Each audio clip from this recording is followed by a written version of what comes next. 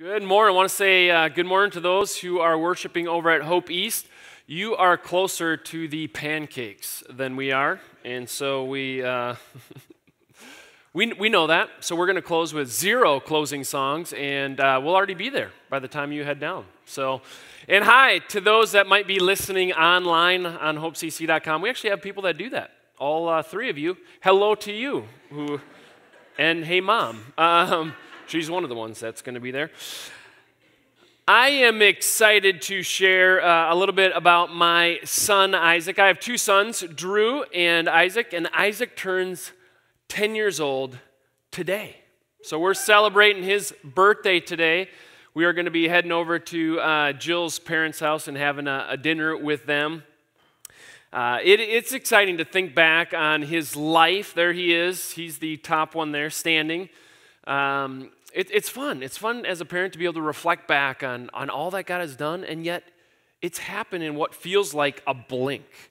It, it just seems like life is speeding up. It's getting faster and faster. We were actually at his birthday party, and I had the chance to talk to uh, Jeremy Archer a little bit of just like, man, it seems like seems like yeah i mean life, life was going and then all of a sudden high school and then college it, like college was a, a blip and then the 20s that's a blip and it's like I, I, was, I was asked how old I was, and I, I said to someone last week, Well, I'm, I'm 34.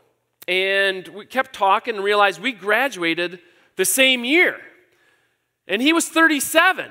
And I, I somehow remained 34. And then I started doing the math. Wait, wait, I'm not 34 anymore. It's like, we're at the last two, two and a half years ago. And so I'm, I'm about to become 37 which is crazy. So uh, life is going by so quickly, but uh, we have so enjoyed um, his, his last 10 years. And there are certain things that, that you'll remember that will stand out as, as a parent as you, as you have kids and go along. And, and I would love to share all the joys of uh, parenting this young man. But it's interesting. It's in the last couple years that he's become um, an ordinary person, if I can use that, and yet still uphold him as like just special and just a delight to his parents. But there are certain things that will put your kid from like extraordinary into like that ordinary category. And, and the thing that's happened in the last few years that has done this for me is he has been evaluated to become a part of a baseball team. Okay? Baseball evaluations cause your kid to go from extraordinary to ordinary. And as a coach, I know this not just because like, hey, this is something they put, you know, out there for everybody to see. It's like, no, I'm a coach. I'm going to coach him. I'm going to coach his buddies. And so I get the opportunity to, to see the evaluations. And these aren't just like, oh, these are other coaches that I know, and so they'll go easy on him. It's like, no, it's this, it's this outside group of impartial evaluators that know youth baseball. They know what it takes to pitch and to hit and to field and to throw. They, they know all of that. And then they get they assign numbers to your kids to say, no, they're not that good.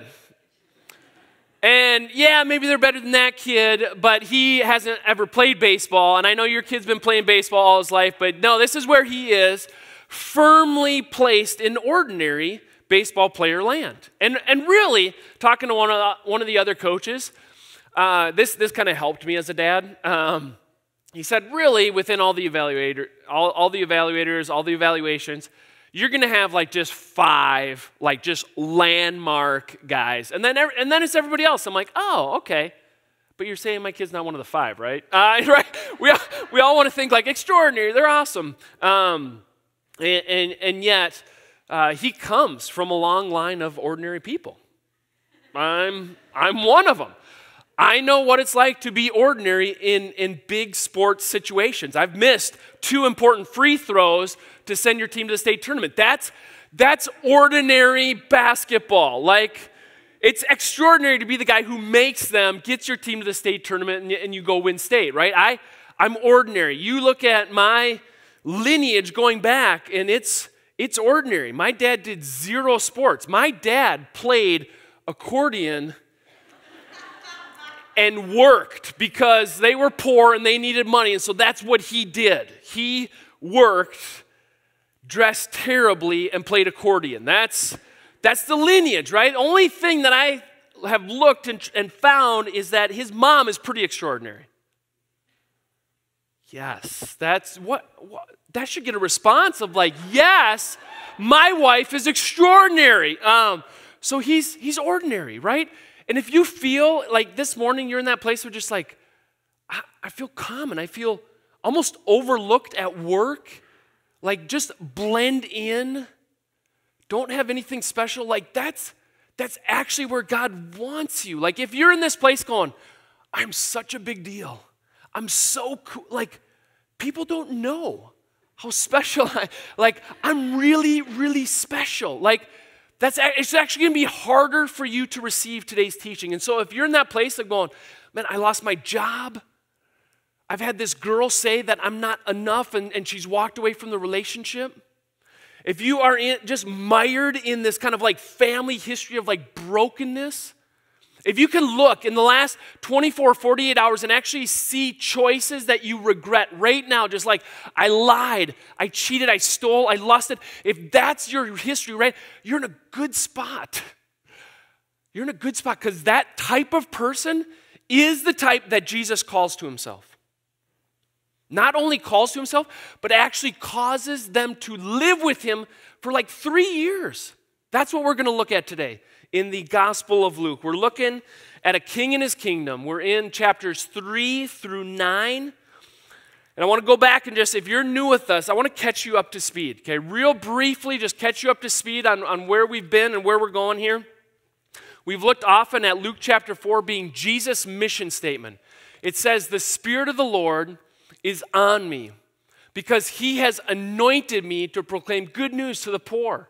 He has sent me to proclaim freedom for the prisoners and recovery of sight for the blind, to set the oppressed free, to proclaim the year of the Lord's favor. And so, even there, you can hear him coming for what? For whom? The poor and the prisoners and the oppressed. You can already see it. It's not a people that has to have it all together that God comes for and moves toward, but rather it's those who are in bondage, those who are struggling. And he wants to proclaim it's time for the Lord's favor to come. And we also look just at the, the laundry list of people that are actually receptive to Jesus. They're not a who's who in Jewish religious circles. They're nobodies, they're anybody's. They're common, ordinary people. People a lot like you and me. Okay? And the ones that are rejecting Jesus, those are actually the people that you would think would respond. But no, they're not. Synagogue attenders and religious leaders and friends of his, they're not responding to the message. And so we just come out of about three weeks where Jesus has really been going after some of these spiritual leaders. And he's actually been inciting controversy. He's been willing to provoke other religious leaders to make sure that his agenda, his plan, his mission is, is communicated. And through that, we see him forgiving sin, which only God can do. And we see him healing on the Sabbath, which is a big no no. So he's provoking them. And now we see him turning from the crowds, turning away from the crowds and the religious leaders to spend time identifying and, and hanging out with a few. Okay? So today we're going to look at uh, Luke chapter 6, verses 12 to 16. You can open up to that if you want. It's a short passage. We're going to spend a little bit of time there, and then we're actually going to springboard to some other passages so this is going to be somewhat of a launching pad. Not going to spend all of our time here, but let me just read for you Luke chapter 6, verses 12 to 16. Jesus is going to call his first disciples. One of those days, so we've, we've changed, we've transitioned here. Jesus went out to a mountainside to pray and spent the night praying to God. When morning came, he called his disciples to him and chose 12 of them, whom he also designated apostles Simon, whom he named Peter, his brother Andrew, James, John, Philip, Bartholomew, Matthew, Thomas, James, son of Alphaeus, Simon, who was called the Zealot, Judas, son of James, and Judas Iscariot, whom became a traitor. That's it. That's our passage. When Steve was breaking up all the passages, he said, That makes a unit of thought right there. We're going to go with those verses and then I come across this and I go, okay, what am I, what am I going to talk about? What, what, what's there? Let, let me start by just addressing some of the uh, minor things within these verses, but then I want to use it to actually springboard to a much bigger topic, an important topic for you and me, which is just so what's that whole thing discipleship? What he picks these he has these followers who are disciples, then he picks 12 apostles, and so like so what? Who cares? What is that what does that have to do with us? And that's that's really important for every message, just the kind of so what, who cares, but it's going to be like the last three quarters of the message. Just this, what does it mean? He picked 12, so what, who cares? Why, why does that matter to us? Okay, so we're going to spend just a little bit of time here before going, going elsewhere. So let's start here in verse 12. One of those days, Jesus went out to a mountainside in order to pray and spent the night praying to God. Now, if you look at the other, we have other gospel accounts, other uh, accounts of Jesus' life, and if you go to those and you look at this calling of the 12, this is the only one where it says he went to a mountainside in order to do what? Pray. To spend the entire night praying to God. So he has this talk with his Father. This is unique to Luke's gospel. This is unique to this account. And so you, you have to, as a reader, go, oh, huh. It's interesting that Luke draws attention to this. And so, in certain areas, we are, we are noted for Jesus. We, we have noted for us that Jesus is divine, but this has to be one of those passages where we recognize his humanity. That he is dependent, reliant, needs to seek the Father. This is hugely important. Why? Because these 12 are going to carry forth the message and the mission in the years to come. And so he spends time sitting before his father, dwelling there. And you can just almost in your kind of this holy imagine, sanctified imagination, just like, what did that conversation look like? And, and Jesus just kind of talking through potential names with the Father. And, and what about this one, and this one, and this one? And you know what was on that list? Common, ordinary people. The whole list was named of common, ordinary people. People like you and me made that list, right? Well, why did he choose this ordinary person over that one? I, I don't know. I can't answer that question. Scripture doesn't answer that question, okay? But isn't it interesting that Jesus just took time to prayerfully seek out the Father's heart? What do you, what do you want? What do I need in my tribe here? What do I need as those who I'm going to pour into and then they're going to pour out to the rest of the world? And he's just sitting at his father's side, receiving from him. And just how long did they spend on the name of Judas Iscariot, the one that would later betray Jesus, right? Interesting. Then we have verse 13. When morning came, he called his disciples to him and chose 12 of them, whom he also designated apostles. So you have to realize there are followers of Jesus, really all of which could be comprised of disciples. So when you say the 12 disciples, right? Many people just say, all right, let, let's exchange that for apostles because then that communicates some sort of title, that they had kind of a positional leadership there. And so, whether you're calling them the 12 disciples, 12 apostles, not a huge de- deal. There are actually people not in the 12 that will be accounted as apostles, right? If you look at, at Paul, he's later called, is not a part of this original group of 12, is later encountered on the road to Damascus. He and Jesus have an exchange, uh, a conversation, and he becomes an apostle. So much so that really he introduces most every letter that he writes as Paul, what? An apostle of Christ Jesus. Or Paul, called to be an apostle. And so it's not just that these 12 are the only apostles, but it tends to be a small number really those who, who come face to face and, and, and are appointed by Jesus Christ, and yet not only so because Barnabas is also called an apostle, and we don't have a we don't have an account where face to face they talk to one another. All right, so there's there's this designation. They're apostles, and yet that's a, a smaller group within a large group of disciples, and you and I we're in that group. If we if we name the name of Christ and we follow Him, we're a part of His disciples, His followers. And yet, these are a special group. They are authorized representatives of Him. They are the new wineskins, right? We talked about this a couple weeks ago.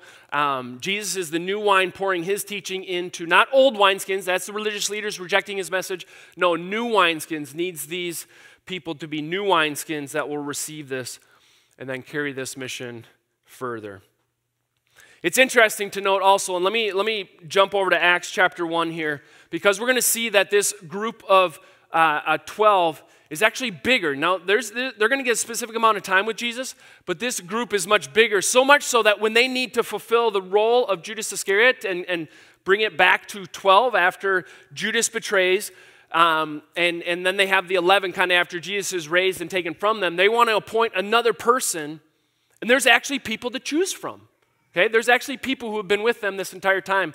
Acts 1 says, Therefore, it's necessary to choose one of the men who have been with us the whole time that the Lord Jesus was living among us, beginning from John's baptism to the time when Jesus was taken up from us. For one of these must become a witness with us of his resurrection. Okay? So even though there were the 12, there was actually a bigger group that was with them from John's baptism all the way through to the resurrection, so that then when they're going looking, they're like, all right, let's nominate. They end up nominating two and then selecting one.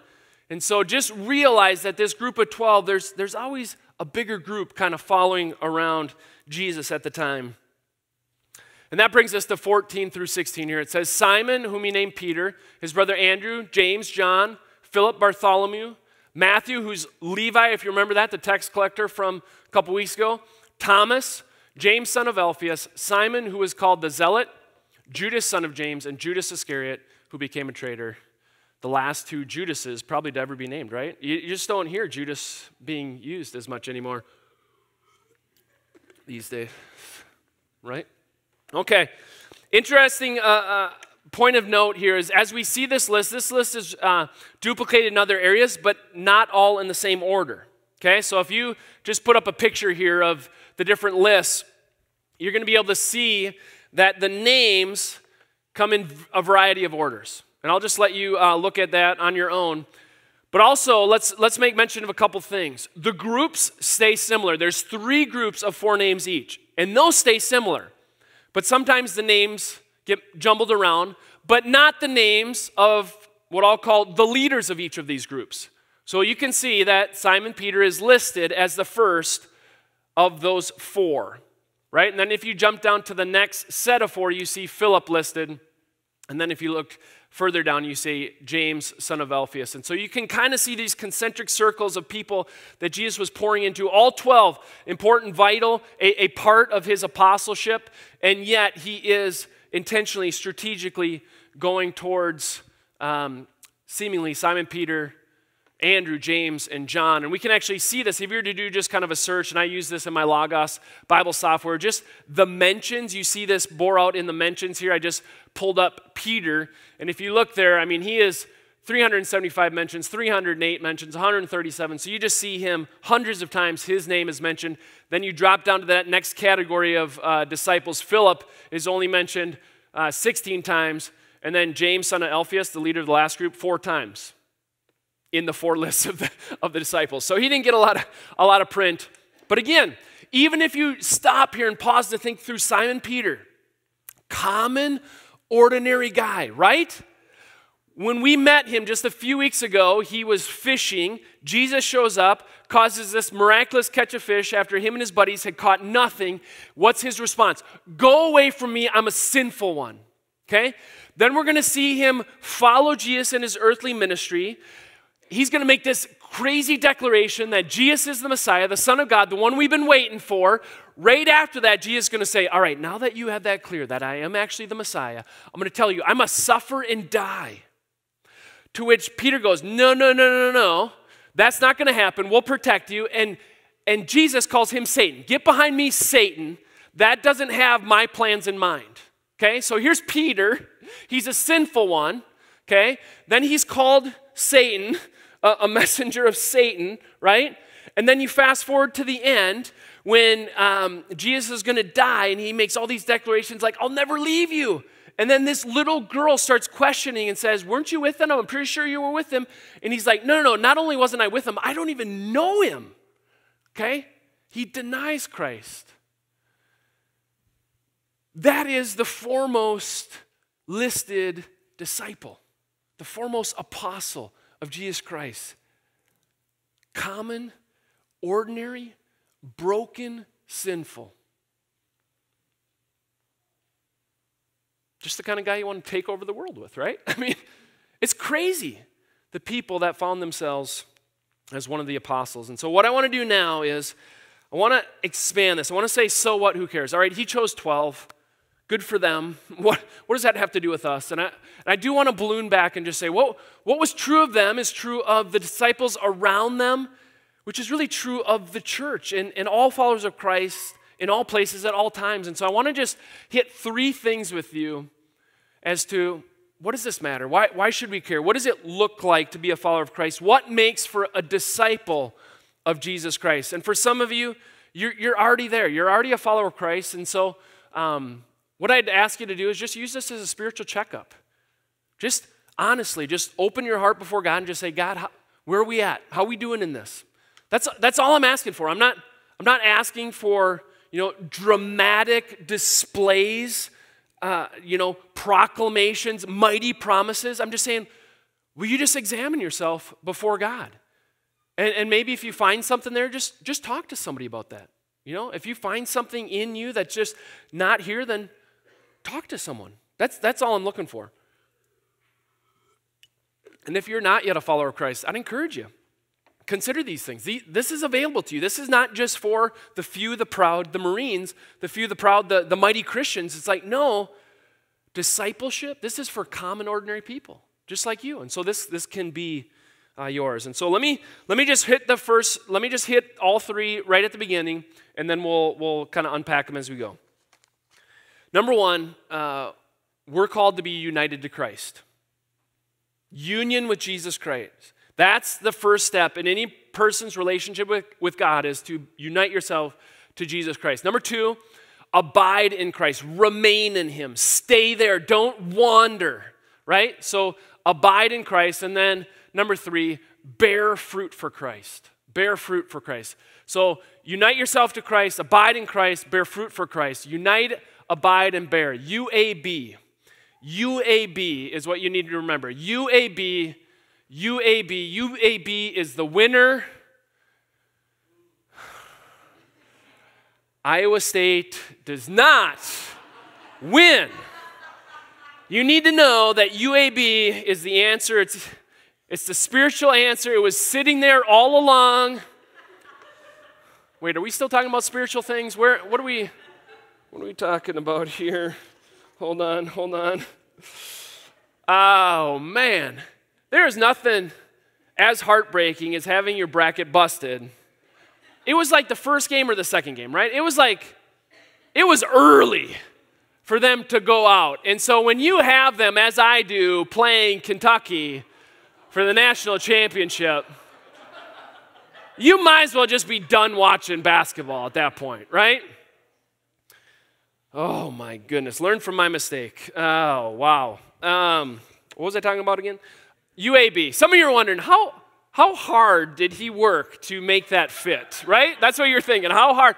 It actually was staring me in the face. I was going to go with United, Abide, and Bear uh, before this, and then I'm just like, but that's not very memorable. How could I make that rhyme or the same letter or all vowels? Or I was kind of wrestling with him, like UAB, UAB, that's nothing, that's nothing. I'm like, that's something from this past week. That is something that hurts from this past week. UAB. It's right there. All right. Back on track here. So let's walk through these just one at a time. And again, just examine, just self reflection. What would this uh, look like? So, you, starting with union in Christ. John Murray says this about union with Christ. He wrote a book uh, called Redemption. That's, that's cool. Like, you can write a book just called Redemption. Um, and he says this Union with Christ is the central truth of the whole doctrine of salvation. Okay? Union with Christ is the central truth of the whole doctrine of salvation. It is not simply a phase of the application of redemption, it underlies every aspect of redemption. So when I talk union with Christ and all the different facets of how beautiful salvation is and redemption and having a relationship with God is, union with Christ is the underlying element to all of it. And so, therefore, it has to be present as we think through being a follower of Christ, being a disciple of His. Okay? Look what Mark 3:14 says. Again, going to a different, a comparable calling of the 12. Look what it says. he appointed 12 that they might be with him and that he might send them out to preach. Now we get the, we, we naturally gravitate towards, okay, he's going to send them out to preach at something. That's the bear fruit part. But they were appointed to do what? Just be with him. That's, that's it. That, what's your job over the next three years? Hang out with me. Be with me, right? That's, that's your role. And by being with me, that's going to help with the, the abiding and the bearing fruit. But first, just your appointment to be an apostle is just to go where I go, do what I do, say what I say. Just be with him. They're appointed to be with him. I just think of uh, School of Rock. I, I, think often in movies uh, when, when considering spiritual truths, or apparently basketball. Um, you remember when uh, in School of Rock, where Jack Black's character is like ha- handing out positions in the band, you know, and you're to be like the drummer, and then you get the different vocalists, and one girl's overlooked as a vocalist, so she's like, I want to be a vocalist, and she sings, and you're like, that's amazing, you're a vocalist, right? And then it gets to the end, and there's just like these people left over. They just got, they, just like, oh, no special talent. What do we do with them? And, and they become groupies, and their job is just like worship the band. That's your job, right? You remember that? It's just like you got one job to do just worship the band. That's it. That's all you have to worry about. And I think how often, just in my own Christian life, where I just forget that. Like, your job every day is what? Worship God. That's it, all right? Do that. We get things out of whack when we miss that and we start doing other things, even going on to good Christian things like abiding and bearing fruit. If we miss worship, that God is number one, that God is our supreme treasure, if we bypass that and get onto other things, that's religion. And it's false religion. It's actually more damaging and more harmful than if somebody had showed up and said, I'm an atheist, I hate God. What does your church have for me? Because in this sense, you're doing Christian things, but you miss the number one. That's actually more harmful. And so every one of us need to be reminded every morning what's your job today? Worship God. Every day. Worship Him. What are we going to do tomorrow? Worship, worship, worship God.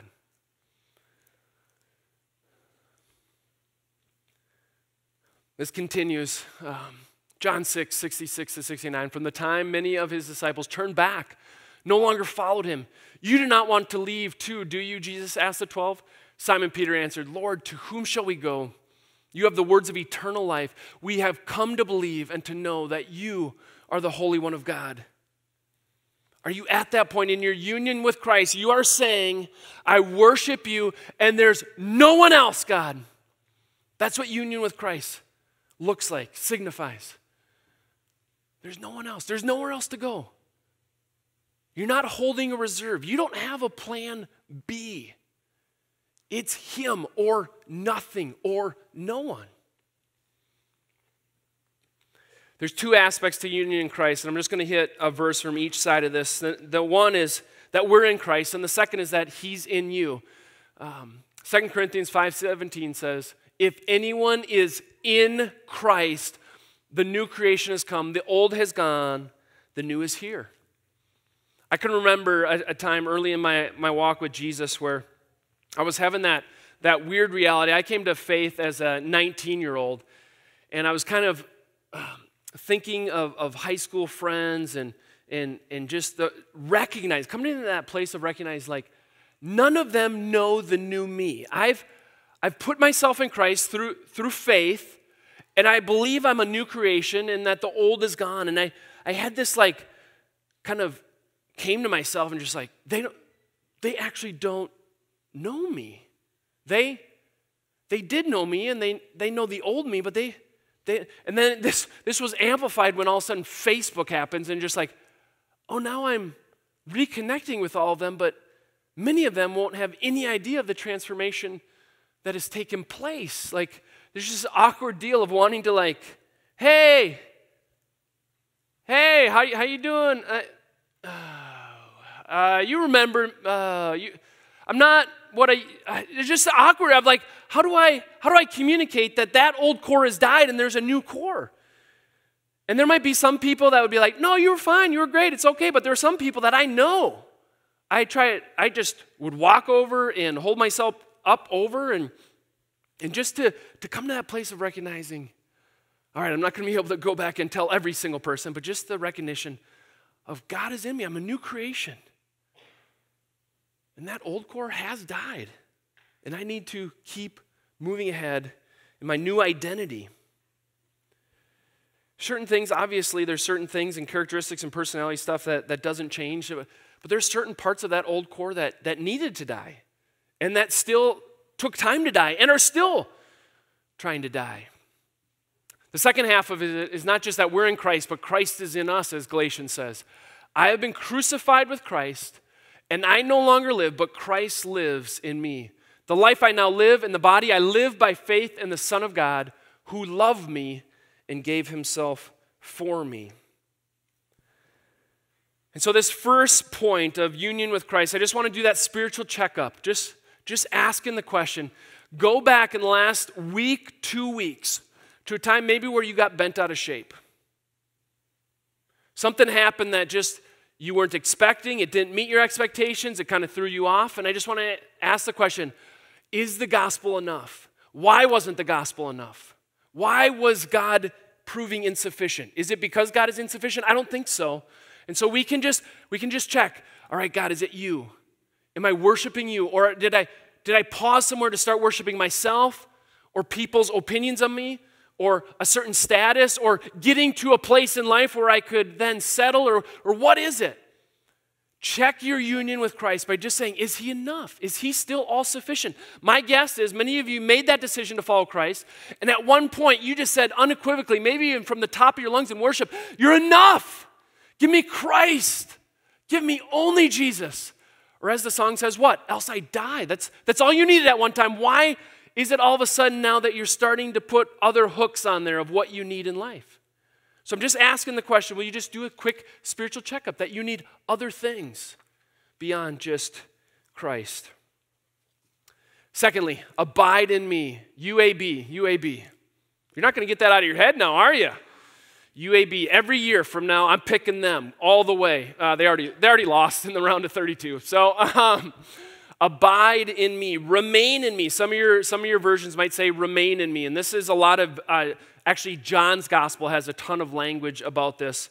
Um, so let's just, let's just look a little bit at what, what does it mean for somebody to not just unite themselves to Christ, but then abide or remain in him. Luke 9 says this Jesus said to them all, okay, not just the apostles, he said to them all, even religious leaders, whoever wants to be my disciple must deny themselves, take up their cross daily, and follow me. Deny yourself. So you're, again, deny yourself. Why? Because I'm going to worship God. God's number one. God is my everything.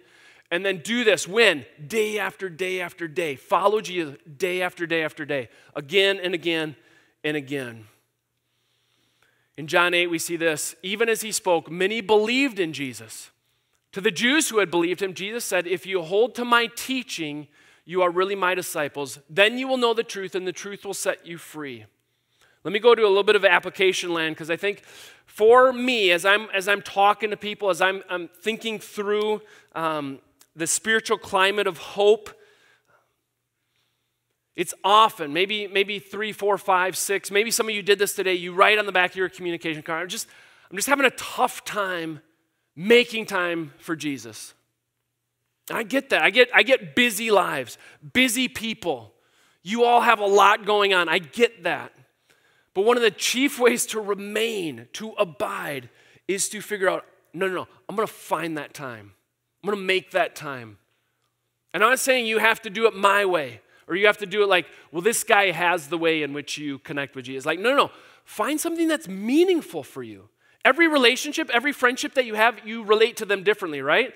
Like, you have some of those relationships where you're like, man, we might not see each other for a couple months, but we just pick it up right where we left off. And other people, you need daily connections, daily conversations, right? Some of the freshmen need to call their moms daily. They're on spring break. They're not here. They didn't even hear that joke. Uh, right. So, right? But you relate to the different people in your life, right? Differently. And it and so you don't have to look at the person next to you and go, "Wow, they pray every morning, 5:30, 6:30. Look at them." You know? You don't have to do that. But what is the meaningful way that you connect with God? One of the ways that I would encourage you to think through is what are the ways that you get God's word into you? Because I think this is one of the ways that Jesus is communicating. You need my truth, you need my teaching. Okay? And he's talking to the religious leaders who had a bunch of Old Testament scrolls, but it seemed like they weren't working because Jesus was recasting those, right? And, and teaching them afresh, anew. What do we have? We have his words. We have his example throughout our gospels. And I think we need to sit under that. And so I just want to encourage you. What does, I don't know if it's daily Bible reading, but what does some sort of ongoing, can we switch up daily for some sort of consistent, habitual, something where it's happening, not just like once, not just you heard me read it here, but just something where it's getting into you, okay? And maybe it's not reading, maybe you're listening to it on your on your commute, you know, walking between classes, whatever. I, am not saying how to do it, I'm just saying Jesus said it's important. And I, I think it is. I think, I think we could we could come before God in prayer uh, for, for years asking for like, God, just give me those five words just give me those three words. Just tell me what to do. And she's like, or we could pick this up and have thousands of words at the ready that God's Holy Spirit would want to then cast and say, all right, now what this means for your life today is, and then fill it in. He's faithful to do that by His Spirit to communicate what you need in the moment. John Bunyan, you know, this is, this is the phrase that comes back to me again and again when, when I'm struggling, because it is, it's a struggle. I'm a professional Christian, I'm a pastor, and yet it's a struggle for me just to open it up. I get it. I'm with you on that, okay? And John Bunyan says, This book will keep you from sin, or sin will keep you from this book. And so I need to check my heart and recognize okay, is it really that I don't have enough time? Is that it? Because I can update you on what happened in the NCAA tournament. Why? Because I watched games, plural. Okay? And so, did I really not have enough time? Did you really not have enough time? Or did we just prioritize our time differently? And if there's a concern there, then again, I don't want to beat you over the head with that. I want to come back to just saying, where's our worship? Where's our union with Christ? Are we drawing strength from that? That God is number one. All right, then here we go. Then, if that's true, we've checked that. Now let's practically make him number one in a few important areas. I gave you a Keller quote that was very East Coast last week, very in your face, not Midwestern at all. And uh, I'm going to give you from 1 John 2, something that's not Midwestern at all. All right? This is in your Bible. This is what John says Whoever says, I know him, I know Christ, but does not do what he commands is a liar. And the truth is not in that person. But if anyone obeys his word, love for God is truly made complete in them. This is how we know we are in him. Whoever claims to live in him must also live as Jesus did. That's a hard teaching. Somehow, your obedience matters. Do you have to obey in order to be accepted? Is that what you're saying? It's like, no, no, let's get all these in the right order. Union with Christ, worship of God. He's accepting me not on my own accord because of what Christ has done on the cross. That's true. That's reality. And yet somehow I must hold in tension this passage, which says this is an outward manifestation of that worship. An outward manifestation of love for God is obeying and doing what he says. And again, if we're not doing what he says, let's come back again and acknowledge this part. Are we worshiping other things? Are we worshiping lesser things? Are we worshiping ourselves? But if we're here, maturity is not just in how much you know. Let's, let's acknowledge that maturity is through obedience. And that's simply over time is what, where we, what we call character. You form the character of Christ over a long period of time by obeying every day in the moment. And so, just again, to stop and give a spiritual checkup, where are we at on that?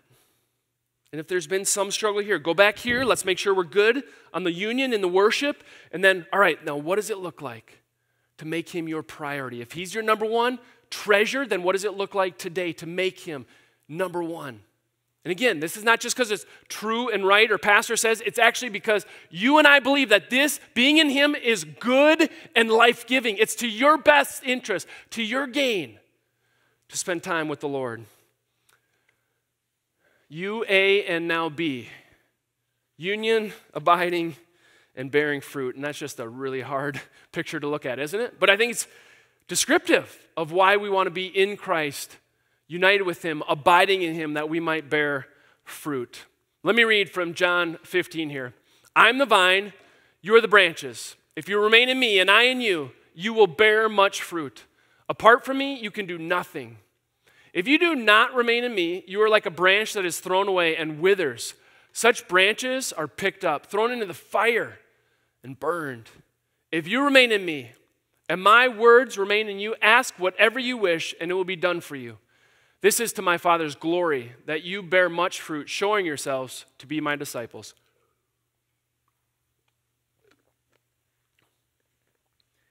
Showing yourselves to be my disciples, bearing fruit. Okay, so now we got this kind of threefold. We're united Him. Number one, worship who? God, right? We're abiding, we're remaining. And as we do that, we bear fruit, fruit that lasts.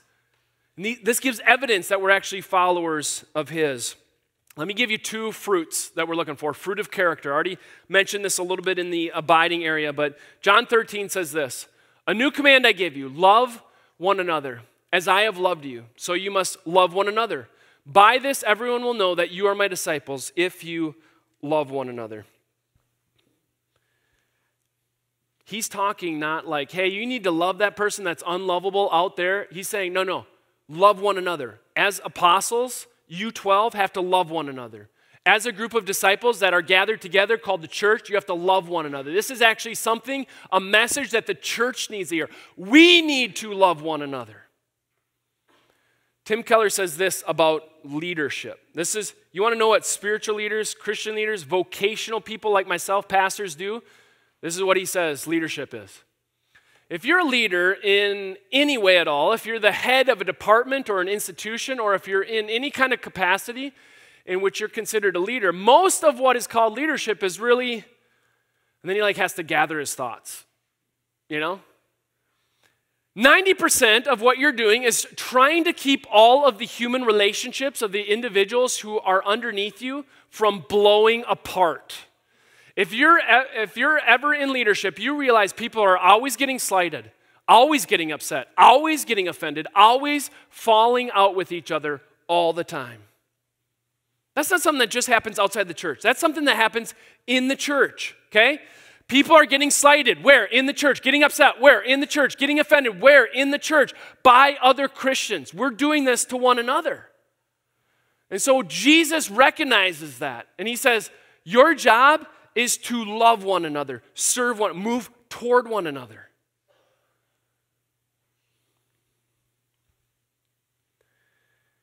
And he shows them what love is. Now that I, your Lord and teacher, have washed your feet, right? He goes, he bends down, he washes the feet of his disciples. He said, Then you should do likewise. I have set you an example that you should do as I have done for you. Very truly, I tell you, no servant is greater than his master, nor is a messenger greater than the one who sent him. Now that you know these things, you will be blessed if you do them. So, somehow, love being translated into serving, making yourself lower, taking that nature. You want to be first, make yourself last. You want to be the greatest? Make yourself the least of all. There's something about the way that Jesus loves and cares for people that looks a lot like humble, common, ordinary servitude. So there's the fruit of character, and then there's the fruit of mission, which is a common passage from Matthew 28. Jesus came to them and said, All authority in heaven and on earth has been given to me. Therefore, go and make disciples of all nations, baptizing them in the name of the Father, Son, and Holy Spirit, and teaching them to obey teaching them to obey everything I've commanded you. Surely I'm with you always to the very end of the age. So consider this, right? All authority in heaven and earth is given to Jesus. And what does he do with that? He pours into 12. That's what he does. He's got all authority. He has control over weather patterns. And he says, My best hope is these 12. I'm going to I'm going to go through these 12. Right? It's crazy.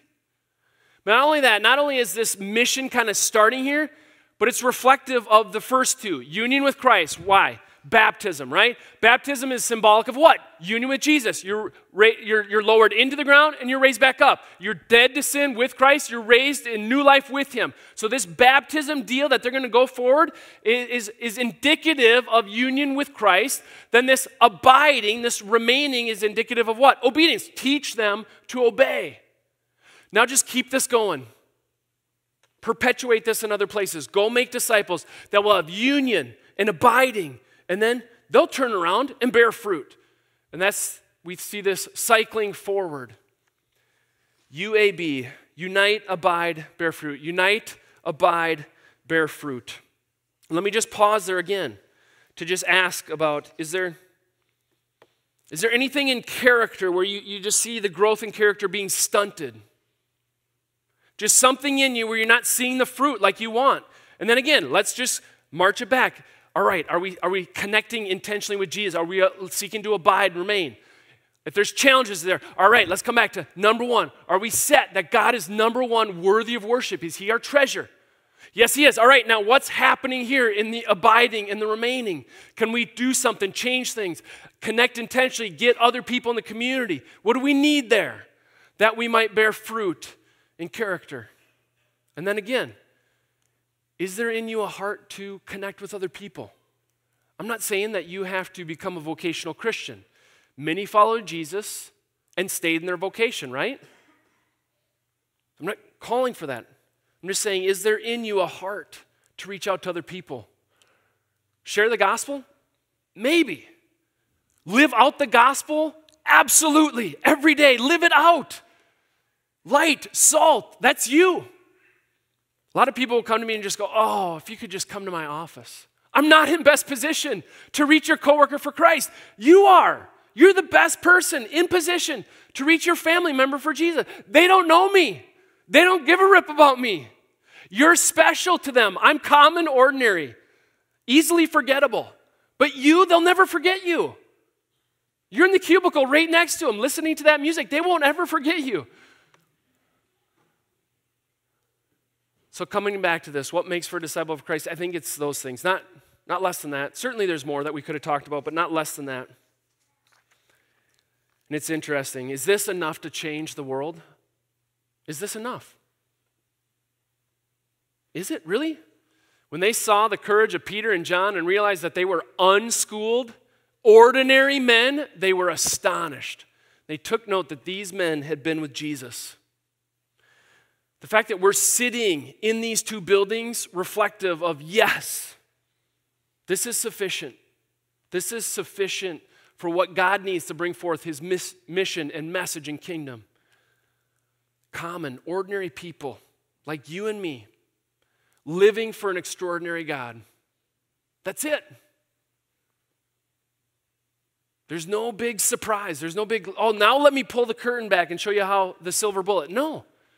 You and me, struggling, laboring, day in, day out, picking up our cross daily, following Him. This is not dissimilar to what the disciples would face, the apostles would face. This is what we're called to. For some of you, maybe for the first time, you're called to this.